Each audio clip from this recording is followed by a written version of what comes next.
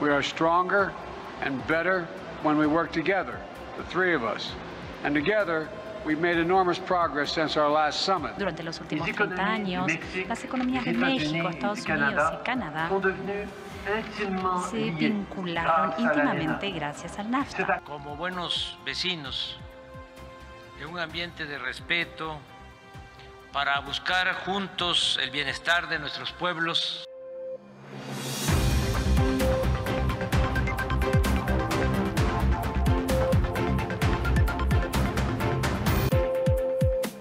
Bienvenidos a Mirador Norteamericano, una coproducción de Aquayed, El CISAN y la UNAM. Eh, en esta ocasión vamos a estar hablando del 20 aniversario de la Cátedra Extraordinaria de Estudios Canadienses Margaret Atwood, Gabriel Roy y Annalise Sabin, que eh, pues eh, está en, en, renovación vital y que con este 20 aniversario está pues eh, cerrando ciclos por un lado, pero abriendo eh, caminos para la eh, construcción, articulación de los estudios canadienses, viendo cómo se construyen los lazos entre la Embajada canadiense, la Universidad Nacional Autónoma de México, la Facultad de Filosofía y Letras y desde luego el Centro de Investigaciones sobre América del Norte. Va a ser un programa muy interesante para abrir este año. No se vaya, Quédese con nosotros. Bienvenidos a Mirador Norteamericano. Eh, en esta ocasión vamos a estar hablando del relanzamiento de la Cátedra Extraordinaria de Estudios Canadienses Margaret Atwood, Alanis Obom Sabin y Gabriel Roy. Eh, además de que estamos dentro de los festejos de su 20 aniversario. Y pues bueno, para ello pues tenemos un programa muy especial con, eh, académicas de gran eh, trayectoria y reputación que han hecho posible este, este mantenimiento de esta cátedra, la doctora Graciela Martínez Salsa, actual directora del CISAN, eh, la maestra Claudia Lucotti, quien, quien es una eh, académica que ha pues, mantenido a, la, con vida a los estudios canadienses en, en nuestro país, en momentos incluso muy difíciles y, la doctora Eliana Cordero, eh, investigadora eh, del CISAN, que estamos muy contentos de que esté eh, incorporada en, nuestro equipo. Muchísimas gracias a usted por su presencia en este, en este programa. Va a ser muy interesante porque hablaremos de varios temas, incluyendo, por supuesto, de las autoras y, la cátedra. Pero para comenzar, querida Graciela, Platícanos un poco del contexto de, la, diplomacia, la historia de la diplomacia cultural entre Canadá y México. Hay una, eh, pues una gran eh, unión, eh, retroalimentación positiva entre esos países y la diplomacia cultural pues ha sido clave. Cuéntanos un poco de ello, por favor. Pues muchas gracias, Juancho, por habernos invitado a esta a este programa acerca de estudios canadienses. Eh, la, yo creo que estamos casi a punto de cumplir 80 años de relaciones diplomáticas entre México y Canadá. Y pues me atrevería a decir que estas se intensificaron conforme se iba a firmar el Telecán. Eh, Sucede entre México y Canadá que teniendo a Estados Unidos en medio, preocupados este, de este lado de la frontera por lo que sucede en Estados Unidos y preocupados en Canadá también por lo que sucede al sur de su frontera, eh, Creo que siempre han sido más intensas las relaciones bilaterales que las trilaterales.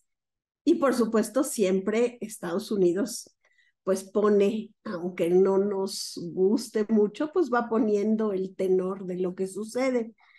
Entonces, eh, con la firma del, del Telecán, yo creo que nosotros volteamos nuestros ojos hacia Canadá y Canadá volteó los ojos hacia nosotros. Y hubo en, la década de los 90 del siglo pasado, lo que yo diría sin exagerar, que fue como la época dorada de la diplomacia cultural canadiense. El gobierno canadiense quería dar a conocer lo que era Canadá y entonces tenía a través de su entonces eh, departamento de eh, comercio exterior era muy raro porque era a través de comercio exterior, pero en realidad tenía que ver con educación. Se daban unas becas de las cuales tanto Claudia como yo, como muchas otras de nuestras colegas este, que, hemos hecho estudios canadienses ya por 30 años en la UNAM, este, recibimos que se llamaban los faculty programs. Unos eran para investigación y otros eran para docencia. Y se, se fundaron con el fin de que académicas y académicos del exterior pues fuéramos como a tener una, una experiencia inmersiva de Canadá. O sea, uno decía, pues este semestre yo voy a dar una clase sobre literatura anglo-canadiense o voy a dar una clase sobre este, economía, porque pues era abierto a todas las disciplinas. Y entonces, eh, en una, además en una actitud de plena confianza y de eh, ética, ¿no? De confianza en la ética académica, el gobierno canadiense te daba dinero, mismo que tú no tenías que comprobar. O sea, no había este, esta cosa de la auditoría, sino que solo tenías que comprobarlo con tus resultados, ya fuera escribiendo un artículo o dando un curso. Y uno podía pasar entre uno y seis meses en cualquier ciudad de Canadá en una biblioteca y adquiriendo material. Yo tuve la fortuna, por ejemplo, de ir y de traer muchas películas canadienses que ahora poco a poco hemos estado transfiriendo, porque aquella era todavía la época del VHS. Eh, quienes son jóvenes y nos estén mirando ahora y, y solo crean en el streaming, ¿verdad? En las descargas, bueno, pues antes todo aquello era material. Y, y, nosotros tuvimos, yo creo que la primera videoteca de cine canadiense gracias a esos programas, ¿no? Eh, y bueno, en, eh, se pagaban traducciones, también había becas para traducción. Y en ese, en ese contexto de florecimiento de las relaciones bilaterales, se comenzó a pensar que pues la Universidad Nacional era un espacio idóneo para una especie de institucionalización ¿no? de los estudios canadienses. En, en la Facultad de Filosofía y Letras, Claudia eh, Lucotti, que era quien difundía la literatura anglo-canadiense, y Laura López Morales, la literatura quebequense, pero también, por ejemplo, en el Instituto de Investigaciones Económicas, la doctora Teresina Gutiérrez, y aquí en el CISAN, la fundación del primer espacio de estudios canadienses en, en México como, como una entidad. ¿no? Y entonces a partir de esas sinergias, este, se pensó en la fundación de la cátedra, que se instauró el 29 de noviembre de 2002 en una ceremonia muy bonita porque los discursos inaugurales fueron dados por Margaret Atwood, eh, para que ahorita Claudia nos podrá contar, y por una recién fallecida gran escritora quebequense, Marie Claire Blais, que ella habló sobre el legado de Gabriel Roy. Pero yo creo que ahorita quisiera, este, a lo mejor, e, eso fue, digamos, una primera consolidación, ¿no? De esa diplomacia cultural en un, en un producto, en una instancia que a la vez junta la docencia con la difusión de los productos culturales, no solo literarios, sino cinematográficos, por ejemplo, teatrales, eh, que, bueno, eso es, ¿no? Eh, para eso fue fundada la cátedra y ahora pues se ha abierto un poco más a que también no, son, no solo sea lo humanístico, sino también trabajos de ciencias sociales, porque pues en este momento yo creo que no podemos ya pensar unidimensionalmente en nuestras disciplinas, sino que cada vez se entretejen más. Pues son 20 años de historia, ¿no? Tenemos aquí el, el nacimiento de la, de la cátedra y ¿qué pasa en ese momento, Claudio? Cuando, cuando nace la cátedra en estos 20 años, así muy rápidamente, ¿cómo, cómo lo podríamos este, narrar esta, esta historia tan, tan rica de, dos décadas? Sí, una historia rica, viva. Es una cátedra viva que como tal ha tenido procesos, etapas, momentos eh, que se han ido, digamos, adaptando a la situación de México, de Canadá, de las relaciones. Eh, retomo un poco lo que comentaba recién Graciela, este nacimiento de la cátedra justamente en filosofía y letras, todo giraba en general, la, literatura en lengua inglesa giraba en torno la literatura eh, británica, digamos, y de Estados Unidos, de, Canadá no había nada e incluso cuando surgía el nombre de Margaret Atwood se pensaba que era estadounidense, ¿no? Este, y bueno, pues surge esta cátedra, mm, mm, digamos, sí, eh, anclada en la confianza, en la esperanza, ¿no? De hacer eh, un proyecto eh, académico pero este, claramente unido a intereses vivos. Eh, la primera etapa fue interesante porque, claro, traíamos, Graciela llegó cargando películas, yo llegué cargando libros y mi, mi espalda todavía lo recuerda, kilos. En México no había libros de, de literatura canadiense, punto. Esos libros ahora forman parte del, acervo de nuestra facultad, eh, ha ido creciendo muchísimo, pero si bien en un principio estaba muy dedicado, digamos, a los autores eh, de Canadá, sobre todo de, en lo que yo tenía más que ver, que era lo de lengua inglesa, si bien mi colega Laura López lo veía en francés, claro, seguíamos un poco los programas, las sugerencias de los colegas de Canadá, muchos de los cuales siguen siendo colegas muy amigos, que eso también es bonito. Pero andando el tiempo empezamos a ver que muchos de nuestros este, alumnas, alumnos, también ah, se interesaron por otros tipos de literatura canadiense que era justamente la ligada al multiculturalismo, este, a todo el tema de la inmigración en Canadá. Entonces pasamos a una segunda etapa con invitados, concursos que tomaban en cuenta también este, no solo la línea anglo más tradicional.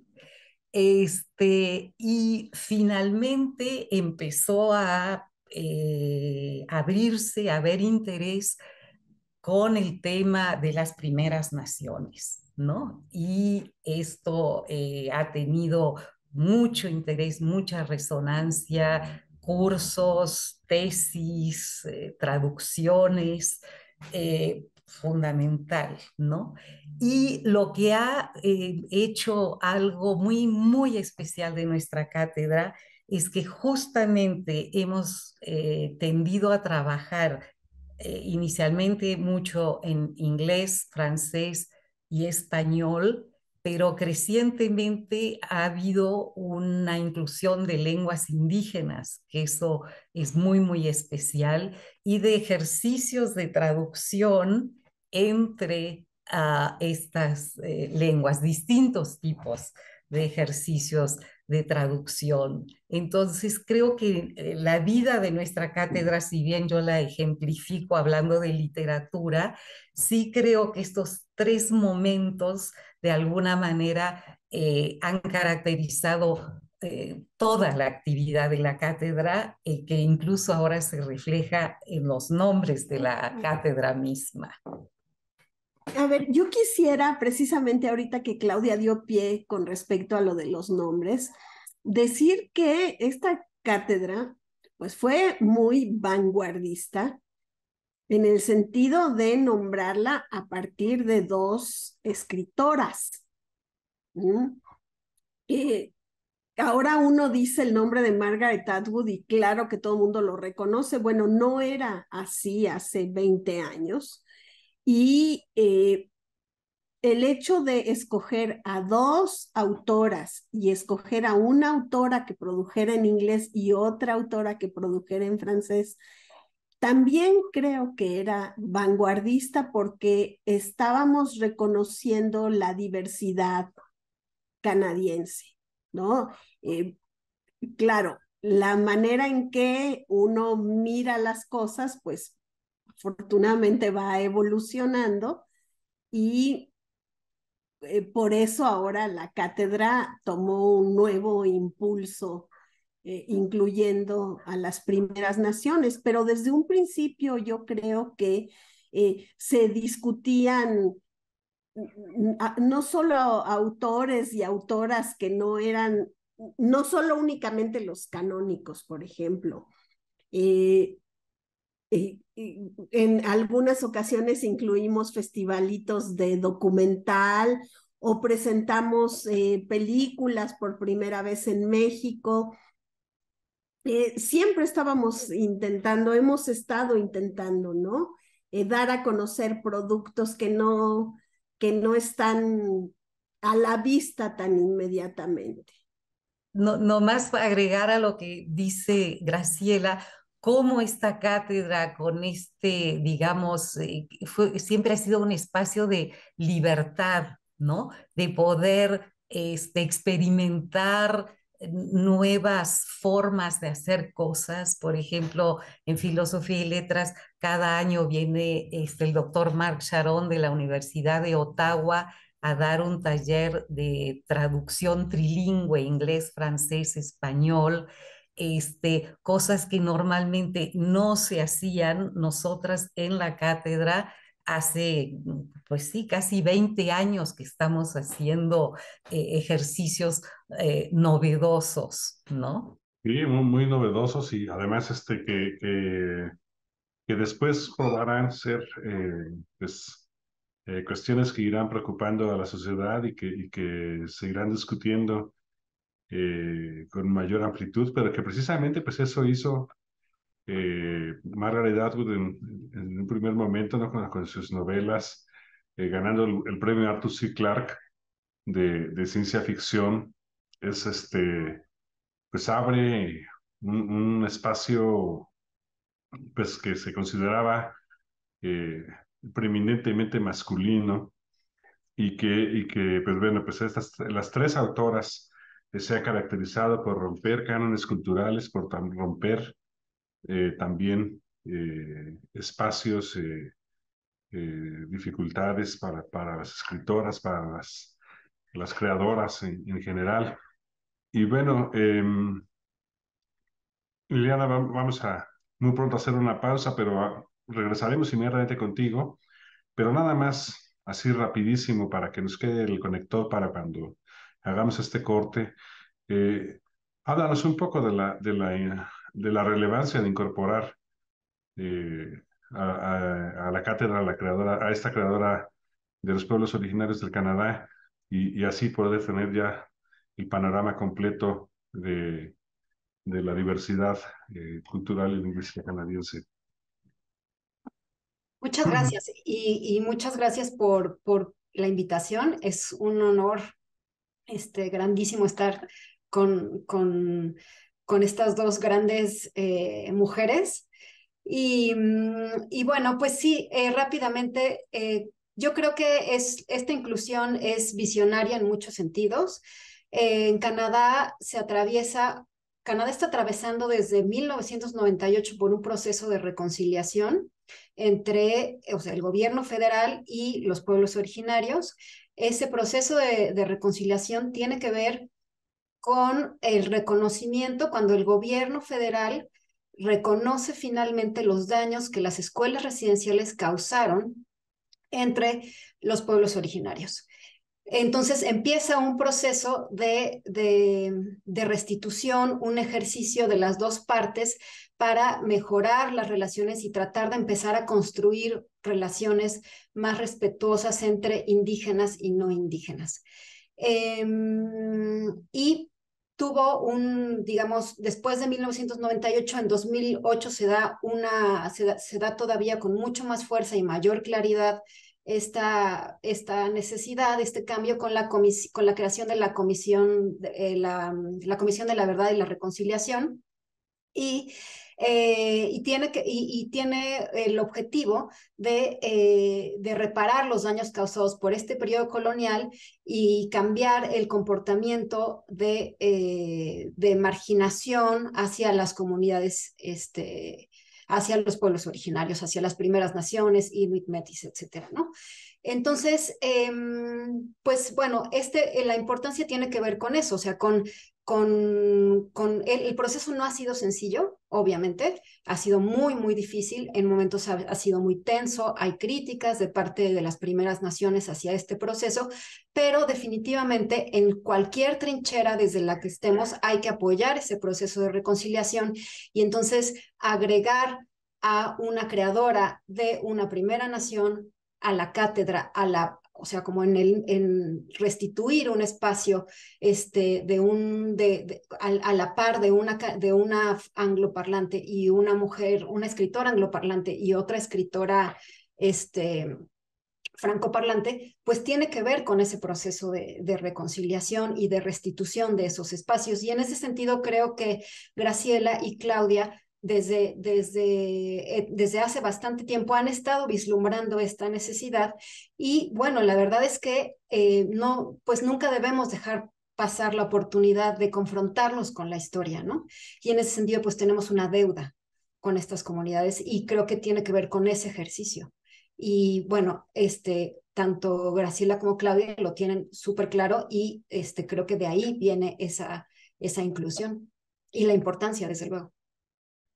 Claro, claro, muchísimas gracias a las tres por, esta, eh, ir, este panorama que nos permitirá irnos adentrando más en, eh, la importancia de esta cátedra, en conocer un poco mejor eh, a las autoras que le dan nombre, pero bueno, pues el tiempo pasa volando, vamos a hacer eh, una breve pausa. Muchas gracias por estar con nosotros. Estamos en Mirador Norteamericano. Estamos hablando de la Cátedra Extraordinaria de Estudios Canadienses y les agradecemos que estén con nosotros. Hacemos una pausa, no se vayan. Estimada audiencia del Mirador Norteamericano, eh, les agradecemos muchísimo que estén con nosotros y queremos aprovechar este momento para recordarles que es posible ver nuestros episodios previos eh, de Mirador Norteamericano en la plataforma Media Campus que aparece en sus pantallas. Asimismo, en la página susan.unam.mx ustedes podrán ver eh, las publicaciones y tener acceso a eh, también a Media Campus, pero a otras redes digitales del CISAN, como por ejemplo YouTube, en donde en el canal de YouTube del CISAN pueden ustedes encontrar pues, las conferencias, no solamente que se estén llevando a cabo en vivo en ese momento, sino también las conferencias previas. También en la página del CISAN encontrarán ustedes el repositorio de mi CISAN, en donde ustedes pueden encontrar los eh, productos de investigación de toda la comunidad académica de nuestro centro. Así que bueno, ya lo saben, publicaciones, eh, videos, conferencias y sin duda las emisiones anteriores de Mirador Norteamericano las puede usted encontrar en la red Así que le invitamos a que vea estos videos eh, bajo demanda en las plataformas indicadas.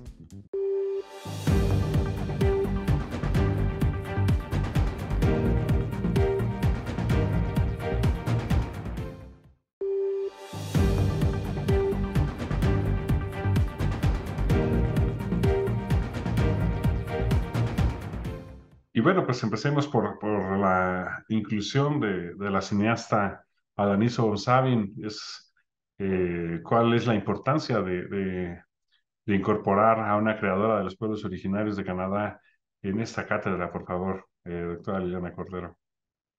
Bueno, pues em, la idea de, incorporar a, a, a Lanis eh, obviamente es de, de, de Graciela y de Claudia y es y la verdad es que es una mujer extraordinaria. Em, es una cineasta Benaki, originaria de la nación Abenaki, que además tiene muchísimos premios, es una, una de las cineastas más reconocidas a nivel mundial. Eh, su cine, sus documentales, es documentalista, eh, tienen como tema eh, asuntos relacionados con los pueblos originarios. Y, eh, y bueno, además tiene, tiene una producción este, basta. Eh, ella mm, tiene, mm, digamos que es muy importante hacer alusión a su postura para entender eh, desde dónde produce, desde dónde, desde dónde ella se asume como cineasta. Y ella se asume como una luchadora porque desde que era niña le tocaron vivir distintos episodios de, mm, de, marginación, de discriminación, eh, porque le decían que ella no podía hacer las cosas porque era indígena. Y entonces ella cuenta en entrevistas y dice, cada vez que me decían eso, yo siempre decía, pues lo voy a hacer de todas maneras. Entonces, em, con una fuerza interior muy, muy impresionante, eh, y, y, además, em, digamos, como para hacer frente a estos episodios que tuvo que vivir desde niña y que, y que además fue consciente desde niña que a sus comunidades se les trataba diferente, entonces va generando una postura y encuentra la necesidad o nace eh, al interior de ella la necesidad de eh, cambiar la situación en la que viven eh, estas comunidades o en la, que, en la que estaban. Estas comunidades lamentablemente todavía están en condiciones em, pues precarias con relación al resto de la, de la, población canadiense, y entonces ella se compromete mucho con, con los pueblos originarios. Y, y, su obra gira en torno a eso. Y entonces, para, para lograrlo, además, lo hace a través de, del cine, a través del documental, porque en el documental encuentra una herramienta para cambiar esa situación. Este, yo quisiera agregar que celebró sus 90 años estrenando una película, ¿no? Lo cual habla de su energía y de su vitalidad. Eh, es fácil decirlo, pero no es lo mismo el trabajo de, un, de una documentalista a la de una escritora. No es lo mismo estar tecleando que andar este, persiguiendo problemas ¿no? Eh, y otra cosa que es muy importante nada más para, para redondear lo que dijo Liliana es que su compromiso es tal que hay películas que retoman los problemas 10 o 20 años después para ver si las comunidades mejoraron o si siguen en las mismas condiciones. O sea, no llega, documenta, se va y se le olvida, sino que, eh, pues sí, su obra es un compromiso de vida. Sí, además lo que la, gran complejidad técnica que tienen estos, estos documentales, el, eh, cómo, eh, pues bueno, entra, entra la música, entran las entrevistas, entran eh, dibujos, entran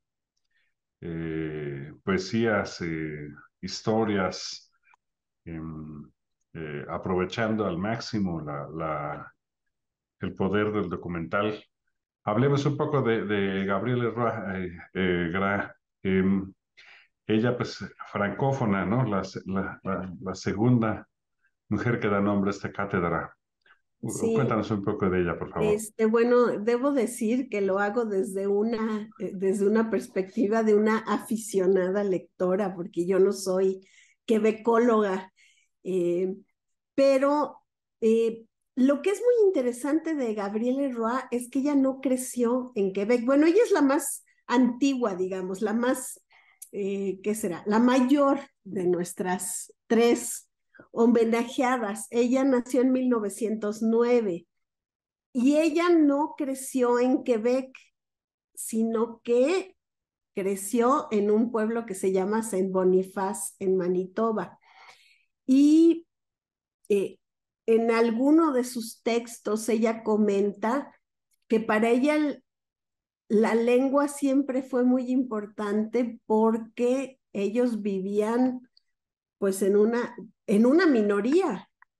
Ellos eran francófonos en una minoría, digo, perdón, en una mayoría, en medio de una mayoría anglófona. Y eh, el, por lo tanto, pues el asunto de la lengua era el de la cohesión familiar y el de una identidad diferente. Entonces no estamos hablando de una autora canónica que haya crecido dentro del canon quebequense, sino de una autora que creció en una, en una parte diferente de Canadá. Entonces, bueno, yo creo que eso la asigna. Y fue una, ella fue una mujer eh, profesional que se dedicó primero a la enseñanza y después profesionalmente al periodismo y que vivía de la escritura, lo cual pues en aquella época era muy raro. Bueno, hasta la fecha no es, digamos, no será fácil vivir de escribir, pero ella vivió de su escritura y creo que todas y todos la conocemos más por una novela que es una novela extraordinaria y maravillosa, que según leí en un texto de Laura López Morales, es la primera novela urbana acerca de Montreal y se llama Bonheur d'occasion. Eh, que será como este, felicidad o, bienestar ocasional. Pero, pero bueno, esa novela es entrañable porque uno lee ahí las descripciones de, de, las calles, o sea, es una novela de la ciudad, donde la ciudad también tiene una parte protagónica y eh, fue, fue su ópera prima y con ella ganó el premio Fémina y el premio del gobernador general, que sigue siendo pues uno de los premios literarios más importantes todavía a estas alturas del, del siglo XXI, ¿no? Es una gran distinción ganarlo. Y ella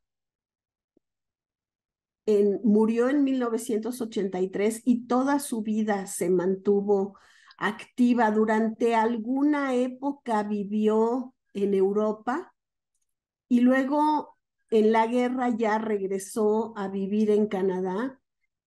Eh, podemos, ah, si a alguien le interesa leer, hay un cuaderno eh, estos eh, materiales de lectura de la UNAM, que son muy baratos y yo creo, si no estoy mintiendo, que lo pueden descargar de manera gratuita.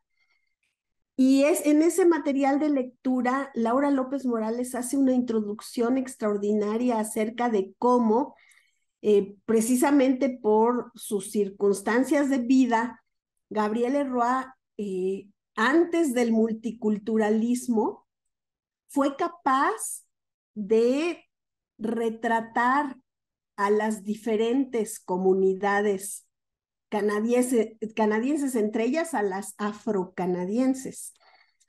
Y ahí hay dos, eh, dos eh, relatos, bueno, son fragmentos de un fragmento de novela y un relato que pueden ustedes leer en español, porque desgraciadamente yo no sé, eh, a lo mejor estoy diciendo una mentira, pero creo que existe una traducción al español de Bonheur de Ocasión, pero yo nunca la he podido encontrar en español, ¿no?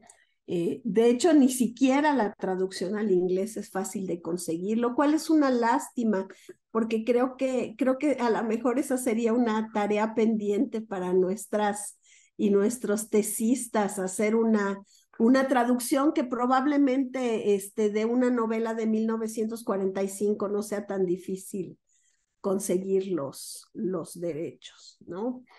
Em, y bueno, eh, la, la, importancia de Gabriele Roy es tal que en 2009 la casa en la que ella vivió se convirtió en monumento histórico nacional, ¿no? Lo cual pues es muy bonito porque, porque es darle a la literatura un sitio preeminente. Sí, sí, también me suena eh, muy inspiradora la, la historia eh, de, esta mujer periodista, profesora, eh, que además, pues, no sé, abrió camino para lo que vendría después durante esos años de, de guerra y posguerra, de la Segunda Guerra Mundial, ahora a veces, a veces, con tantas guerras que ha habido en el último tramo ya eh, hay que hacer el, remarcar que se trataba de esa Segunda Guerra y de un momento además, eh, pues bueno, del el reformulación del Estado canadiense, en fin, cosas que podrán verse en, en otro programa de Mirador Norteamericano, pero, em, y bueno, pues eh, también está eh, Margaret Atwood, entre las autoras que dan nombre a esta cátedra, eh, Claudia, y es un, pues bueno, ella es, es, es un referente, eh, pues posiblemente mucho más conocida que, que, que, las otras, pero platícanos un poco más eh, de, esta, de, esta, de, Margaret Atwood, que es, pues, de, su fama le precede, pero pocas veces tenemos oportunidad de eh, adentrarnos un poco en, cómo es que, que llegó a ser eh, este nombre tan conocido. Platícanos un poco, Claudia, por favor. Sí, claro. Este, bueno, Margaret Atwood no es como Shakespeare, pero es este tipo de, de autora, autora que uno no sabe por dónde empezar realmente. Eh, sin embargo, creo que voy a empezar con el comentario que hice hace un ratito acerca de cómo en México hace 20 años eh, se había oído su nombre, pero no había ninguna conciencia tan clara de una cultura canadiense, de que existiera una literatura canadiense. Eh, y todo lo que, digamos, iba en inglés se asociaba con Estados Unidos. Eh, Atwood estuvo eh, en la inauguración hace 20 años en el aula magna de Filosofía y Letras y este, tenemos ahí el, testimonio de, ese día. fue muy, muy interesante su, sus palabras Em, su intervención fue relativamente breve, muy visual, habló, eh, cátedra en inglés se dice chair, que es quien ocupa la, la silla durante un tiempo para este, tener una comunicación con toda una comunidad, ¿no? Y Atwood habló de, del tema de la silla en sí, eh, que era una silla para qué se podía usar y cómo pensaba usarla o, eh, eh, digamos, fomentar el uso de esta silla en nuestra universidad. Em, Atwood realmente es hija de, digamos, todo el ambiente anglo más viejo, más tradicional de Canadá, Em, y ah, se inicia, estudia en la, eh, en la, Universidad de Toronto, estudia letras inglesas, lo cual este, a, mis alumnos, alumnas siempre les suena interesante, pero sobre la marcha pues se involucra cada vez más con la, libertad que da el escribir y no tanto la docencia. Y es alguien que ha pasado, tiene, yo ya perdí la cuenta, ha escrito de todo, cuentos de niño, poesía, cuento, novela, prosa breve, ensayos muy, muy interesantes. Em, ha escrito eh, ciencia ficción, eh, testimonio, en fin, su producción es muy grande y muy variada es alguien que ah, está, eh, ha leído de todo, desde biología, geología, eh, historia. Em, ha leído, se ha interesado muchísimo por la producción literaria y cultural de Canadá.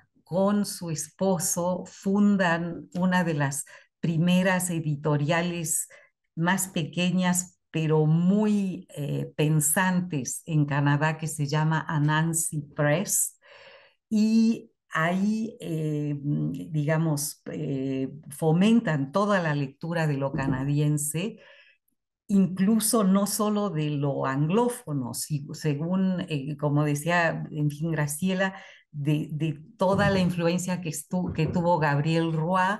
Atwood leyó a Gabriel Roy, y tomó nota de mucha de su forma de ver la vida en el Canadá de su tiempo. Este, sin embargo, más allá, digamos, de, de, todo lo que ha escrito, que no alcanzaría ni creo que tres programas de mirador para cubrirlo, pero lo que impacta es la, la mente, diga, es, es, un ojo que observa como Gabriel Roy, eh, una mente que mm, eh, interroga lo que ve, lo, lo, problematiza, no se queda con la solución fácil y finalmente ah, lo expresa eh, con un lenguaje muy adecuado, aunque siempre está haciendo aclaración de que eh, el lenguaje no acaba de dar el ancho para poder ella plasmar las interrogantes que tiene sobre la condición de la mujer, en general siempre en Canadá, o sea, no, no ha intentado abarcar eh, mucho más allá de, de, su propia tierra y con eso tiene y le sobra, ¿no? El tema de la mujer le preocupa, el tema del medio ambiente, el tema de eh, cómo nos contamos historias acerca de, de quiénes somos y cómo actuamos en nuestro tiempo y cómo las historias heredadas eh, muchas veces nos ayudan a manejar el mundo, pero muchas veces nos restringen la visión y la capacidad de cambiarlo, ¿no? Y em, es alguien que ha seguido eh, eh, escribiendo un poco como Gabriel, como Bomsawin, ¿no? No, no, no para, Atwood también ya cumplió 80 y sigue conmocionando a sus lectores este, con sus uh, escritos. una de sus primeras, este, eh, digamos, éxitos, y uso la palabra éxito y ahorita vuelvo sobre él, porque tiene dos sentidos y en Atwood es un tema muy este, mm, fuerte. Eh, cuando escribe el, el, eh, el, cuento de la criada, The Handmaid's Tale, que es un, un 1984 84 eh, orwelliano feminista, em, ha sido una de sus novelas que todavía hoy sigue, digamos, figurando, incluso Netflix tiene una serie sobre la historia de la criada. Este, Atwood lo, que hace es, 20 eh, años después escribe eh, la segunda parte de esa novela, ¿no? Este, que se llama eh, El Testamento. Retoma qué ha pasado, ¿no? Con el tema de, de la mujer, la política, el aborto, etcétera.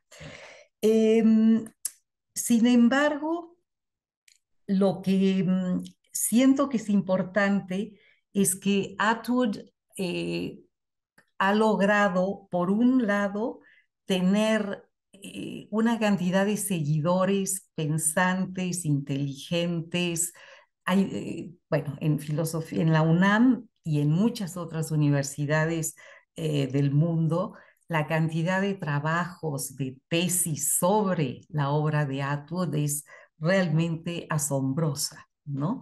Eh, sigue poniendo a pensar a generación tras generación de, estudiantes, que es eh, muy llamativo, ¿no? Muy, este, digamos, esperanzador, ¿no? Esta idea de a pensar, aunque duela, aunque cueste, no todo es algo ya este, arregladito en, bueno, Netflix tiene de todo, así que no me meto, pero bueno.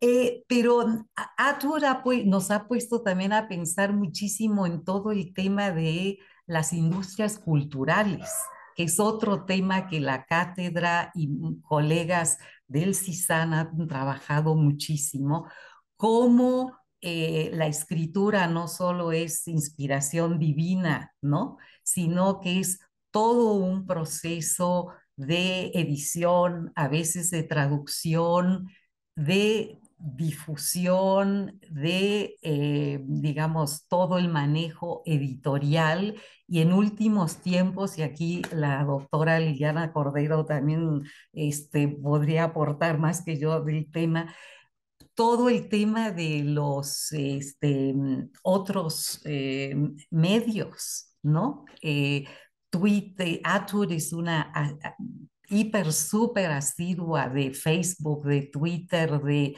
tiene una cantidad de seguidores increíble, ¿no? Y nos está obligando a las de mi generación, por ejemplo, a eh, revisar, digamos, la, la literatura no solo empieza y acaba en, en un libro que uno adquiere en la Gandhi, sino que implica un universo eh, infinitamente más grande y que Atwood, una vez más, estas mujeres ya muy grandes y que son ejemplo de no quedarse en un tema, en una visión, en un modo. Atwood se ha vuelto, no sé si la reina del Internet, pero alguien que realmente ha abierto ahí un chorro de ventanas que nos tiene a varias aquí este, tratando de ponernos al día para no quedarnos atrás. Así que lean Atwood, véanla, este, están algunas de sus cosas justamente en, estas plataformas. La UNAM tiene algunas traducciones más pequeñas de su obra, sus novelas, lamentablemente, eh, los derechos los tienen todos, las grandes editoriales españolas, y eso sí nos ha obligado más bien a traducir su poesía y sus cuentos, pero lo que sea de ella vale la pena. Y muchas gracias, un, gusto siempre eh, contar con tu luminosa presencia. Muchísimas gracias, maestro Coti. Es un honor para nosotros y, esperemos muy pronto poder contar pues, con, con alguno de tus participaciones para, para este programa. Muchísimas gracias. Y, Gra, pues, ¿alguna reflexión final que, pues, nos quieras Solo que, que ojalá y de veras puedan visitar la, la página de la cátedra, porque ahí tendrán un, un panorama verdadero de la intensidad del trabajo, de la variedad del trabajo. Eh, creo que algo, algo que vuelve a la página muy valiosa es cómo muestra la formación de nuevas y nuevos canadiólogos en nuestro país.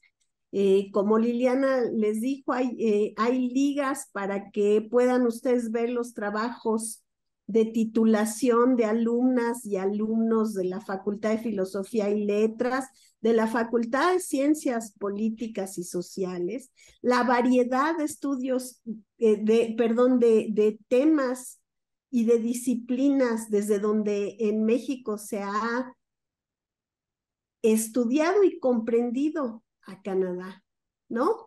Y, bueno, em, ahí, por ejemplo, encontrarán también el anuncio del trabajo paralelo del seminario eh, de estudios canadienses, en donde en una mitad son las y los investigadores quienes presentan sus trabajos y en otra mitad eh, las y los alumnos que están llevando a cabo las investigaciones para graduarse y titularse con ellas, ¿no? Entonces, creo que eso también ha sido siempre parte integral del espíritu de la cátedra, ¿no? Que la universidad se forma en la combinación de las voces de las y los jóvenes con quienes ya no más lo somos de espíritu, este, y con el trabajo conjunto, con el trabajo de formación de cómo este, pues nos vamos formando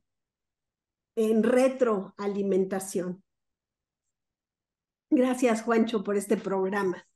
gracias a ti, gracias, eh, Claudia, gracias, Liliana. Gracias. Por, es, es verdaderamente eh, una, una, maravilla. se, les agradezco, se les agradezco muchísimo y también a nombre de, la, de quienes está viendo el mirador norteamericano, pues aquí está una opción. Este programa también se, suma a este esfuerzo de articulación eh, que tiene esta, esta cátedra para eh, pues, eh, mantener el trabajo arduo que implica pues, el, pensamiento, la cultura, la, el arte, las industrias culturales y, y, y todo lo, lo constructivo, creativo que eh, más que nunca necesitamos que nos nutra el espíritu em, para, para seguir adelante. Y pues agradecerles, este es el primer programa de 2023. Durante 2022 tuvimos cápsulas de, de poesía en, en, lenguas originarias y, y, arrancamos pues con un programa inspirador. Les, les agradezco muchísimo que, que se hayan tomado el tiempo para, para ello, también al equipo de producción, al equipo técnico. Eh, Mario, muchas gracias.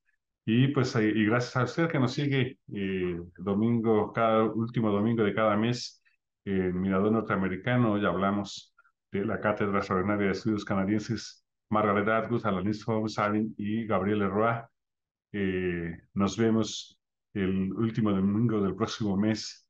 Muchas gracias por su atención. Hasta la próxima.